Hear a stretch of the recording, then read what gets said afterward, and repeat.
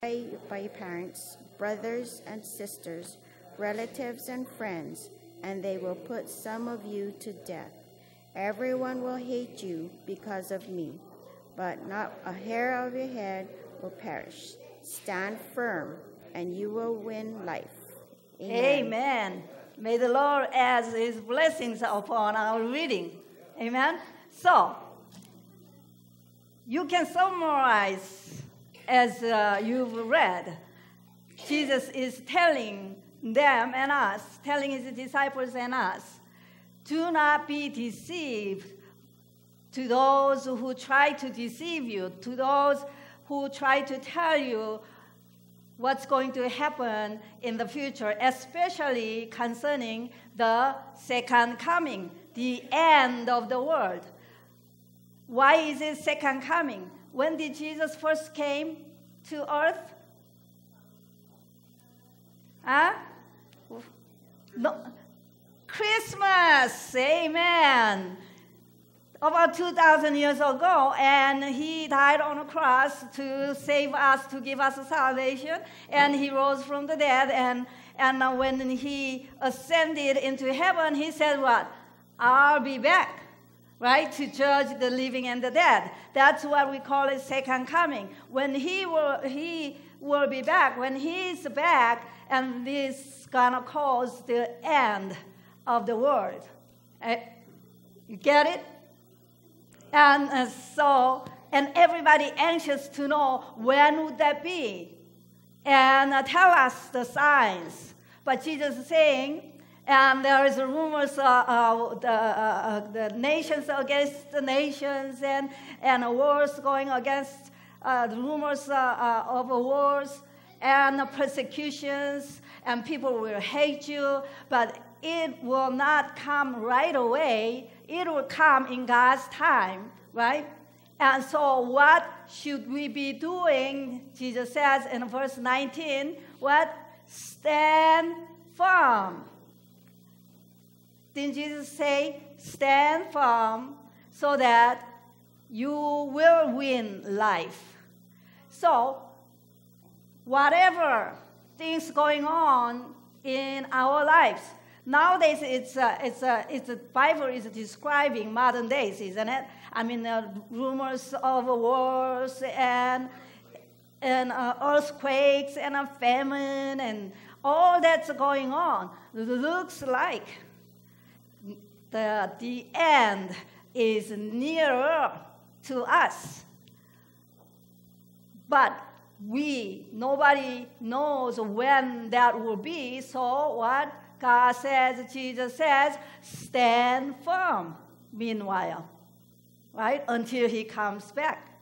So how do we stand firm? How do we stand firm? And so today, since uh, this is a very uh, fun day, we are just going to look into only two W's. It's easy, no-brainer uh, to uh, do this one. Amen? So you're paying attention. All cakeys. All right. Where's Elijah? Elijah was a good uh, trooper. And now, verse, look at verse 12. You were persecuted. People will persecute you, right? what was the reason and what was the purpose of a persecution come to you. Verse 13, Jesus says what? And you will bear what? Testimony of me. So, in a sense, Jesus is saying those persecutions, you, because you are going to be persecuted by the world, by the people, because you are Christian. And that purpose is to witness God's power, witness God's love and grace, God's goodness and mercies follow all the days of your life. They can persecute you, but God's going to what? Protect you. God's going to give you words to say. God's going to give you wisdom. God's going to uh, give you the way out. That's what, and so that you can be witness the gospel of Jesus Christ to whole wide world and to those especially persecuting you.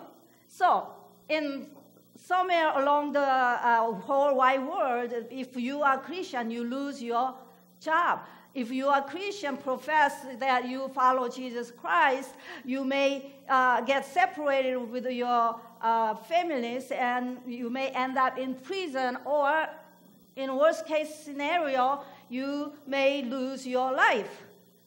But to Americans, American Christians are persecuted? Not as much, right? Not as much. You know why? Why does people persecute uh, Christians? Because they are different. People don't like, you know, somebody is different, right? Because Christians try to choose to live according to the purpose of uh, their lives, and Christians good Christians will choose to follow the desires of spirit rather than desires of the world and flesh. Now, if we choose, if we live according to the spirit of living God, the world will hate us because we are different. But if we try to do keep up with the zones, we try to do to just uh, uh, be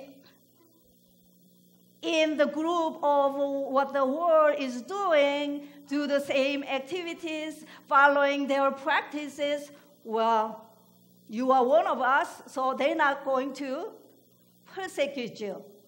So, have you been persecuted because you are Christian? Hmm? You guys are getting persecuted in school because you are Christian? Mm-hmm. All right? That was your question? Have you been persecuted in school? No. Have you been bullied by bullies? All right. Now, there was a guy, he was a very small statue and weak, and he's been bullied by bullies in school. Every lunchtime, they take his money, lunch money, five bucks. And he tried to witness God's love and grace and forgiveness and be nice to them, but it's every lunchtime, and these bullies take his money away. So he says, Enough is enough. I'm going to learn, I'm going to fight back. I'm going to learn how to defend myself. So he decided to get a karate lesson, right? And the karate lesson guy is saying that he has to give him what five bucks for a lesson. So he figured it's not worth to learn to defend himself. He decided to just give the five bucks to bullies. Hmm? It's a funny, right? Oftentimes, we as Christians, the world bully us. And if we have to learn to defend ourselves, it's gonna cost us not only money, cost our time and energy to learn and memorize and to live according to the uh, Bible or according to the our purpose and we get tired.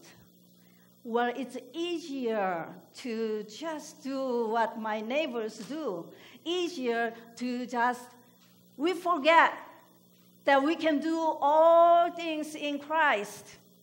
We forget that our God wants us to walk by faith, no matter what, persecutions or not. When we do, and the Bible says what? Verse uh, 17 says what? And not a single hair on our head is going to perish because God will protect us. Why would God protect us? Why would God will protect us? Because I am a child of Most High God. You are a child of Most High God. You are a precious uh, commodity for our God. God says you are a special possession. Why is that? All right. Have you heard this? Everything values, it depends on whose hands in it. Do you remember? If basketball in Marcus' hand, how much worth would be? How much do you pay for the uh, basketball? Like 19 bucks, 20 bucks? And if he ha- has them and in his hands, how much would it worth? 20 bucks. And then the time goes, he uses it in mud and etc. It devalues, right? Depreciates. But how much of the same basketball is in the hands of what? Michael Jordan. How much worth would that be? Would it be? Hmm? 33 million. And I spend the 50 bucks for my golf club. And if it's in my hands, it's worth less than 50 bucks, right? Time goes by. But if it's in the hands of Michelle Wie or Tiger Woods, he doesn't make any money nowadays. After Tiger Woods fall, I never watch golf games, so I don't know who's making big bucks. Bob, tell us who is Phil Nicholas. Nicholas, Nicholas, Nicholson. If uh, same golf clubs in his hands, it will worth how much? Billion dollars, probably. Two fish and five loaves in my hands, how much worth it will be? Two fish sandwiches right? But if it's in the hands of our Lord Jesus, how much would that be? How much worth would that be? Fed 10,000, 5,000. It's a much, much miracle, right? It all depends on whose hands in it. So our life, your life is in God's hands. Where does Bible say that? Your life is in God's hands. Where does Bible say that? John chapter 10, verse 28. That is my favorite one. Jesus says, I gave them eternal life. No one can snatch them out of my hand. Your life is in God's hand. And who holds the heavens in his hands? Our God. When your life is in God's hands, you are going to worth trillion, ten trillion dollars and more. If it's in your hand, even if you are billionaire, it won't much compared to unlimited our God, right? What's 10 trillion, trillion, billion dollars look like? You stack up $100 bills, fill the whole sanctuary, fill the whole the uh, halls. You're never gonna able to spend it all entire, even if you live 200 years. That's how much you are worth in His hands. Your life is in His hands. So, therefore, God will protect you, right? Because you are very valuable, very special, God's special position. So, only thing we've got to do when we go through trials in our lives, tribulations in our lives, only thing we've got to do is what? Trust Him. Trust Him. Stand firm. Walk by faith. That's all it requires. That's all requires until when? When our Lord Jesus comes back. Amen? So, what would be the first W? Walk, what? Walk by faith. Walk by faith. So turn to your neighbor says, I will walk by faith no matter what. I am, my life is in God's hands. You say it, you confirm it to yourself. Our life, your life, in God's hands. So no matter what, persecutions or not, and trials or not, tragedies or not, God will give you the strength to go on. God will protect you from all harms, and not a single of your hair on your head will perish. Amen? Praise God. And the second W is this. So, verse 14, the Word of God says what? So, therefore, make up your mind, right? Not to worry beforehand, not to worry about what tomorrow will bring. This is your decision. And this is a decision. Make up your mind. And in other words, trust God and obey His command. Do not worry what tomorrow will bring. Now, do you guys worry about anything? No? Life is good? Do you guys worry about anything? No, our adults worry about everything. They even worry about their worries. Did you know that? Because uh, if we worry, we don't, it's a sign of uh, a lack of faith, so it's a, a sin, so we worry that we worry. You know, there was a guy, his nickname was uh, Warrior of Worries, all right? And he worries about everything, anything. He worries about his uh, finances, his wife, and his, uh, his uh, children. He worries about his job. He worries about his neighbors, and he worries about world peace. He worries about everything, election, everything. And one day, he stopped worrying. So a friend says, How come? I haven't heard you worrying today. And the warrior of uh, worries said, Well, I hired a guy to worry about everything uh, for me. What? You hired a guy? And how much does it cost you? And a thousand dollars a week? Hey, you cannot afford to pay him thousand dollars a week the warrior of worries said, What? That's not my problem. That's his problem. He's going to have to worry about that. Uh huh. As uh, we laugh at the joke, but it's a truth, a the foundational Christian faith in that. Hmm. We didn't hire the guy.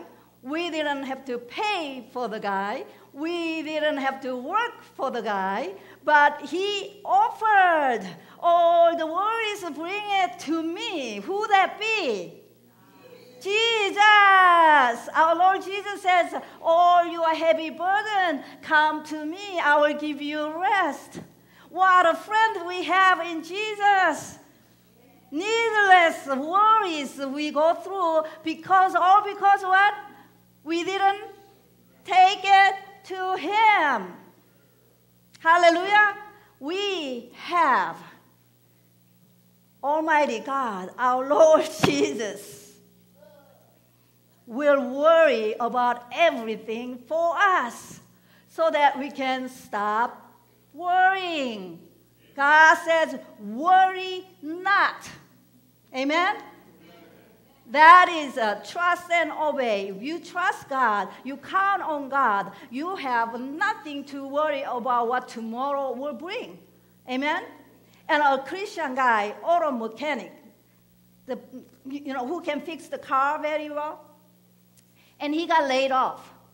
And uh, he prayed the prayer and give all his problems to Jesus. And meanwhile, he's uh, looking for a job, and he um, was collecting the um, recycled cans in a park. And uh, one day, he encountered a limousine was uh, broke down, and the driver tried to uh, fix the car. So since he's a mechanic, he hopped in, and it was a simple problem. He fixed it. So the limousine owner of the limousine and rolled down the window and tried to pay the guy, mechanic, and the mechanic refused to accept it. It's a nothing. He refused to accept it and he says, This is my skill God has given to me. I'm glad I can help you. It, it wasn't much, you know. So he didn't accept the payment. And the limousine owner was so impressed. And a few days later, the mechanic's wife received a beautiful bouquet of flower from the limousine uh, owner. And uh, with the sealed envelope, uh, it had with a letter that was notarized and says this all your mortgage payment is paid in full. Uh huh. Wouldn't you love to have that? You know, the story says, are you curious about the limousine owner? Hmm? No? It, it, it was said uh, Donald Trump president elect because he's in the, the, the real estate tycoon, he knew what to do. And he didn't verify the story or deny the story, but that is what it came about. We love to have those things happen in our lives, don't you? Yes. And we love to have uh, somebody in our path that is capable of doing those things. Right? Amen. And we, do you know, we have that person in our lives. Do you know? Hmm? When you trust and obey, it will be taken care of. All your needs will be taken care of. Our God has promised. Look at the birds in the air. Look at the lilies on the ground. They don't work, they don't pour sweat, but they are fed they are fed and they are well taken care of. How much more? You are God's special possession. How much more? God will protect you. God will bless you. God will give you what you need. So worry not until the day comes. Stand firm in Christ's solid rock. Amen? And that is what second W will be the easy, no brainer. What is that? Worry not.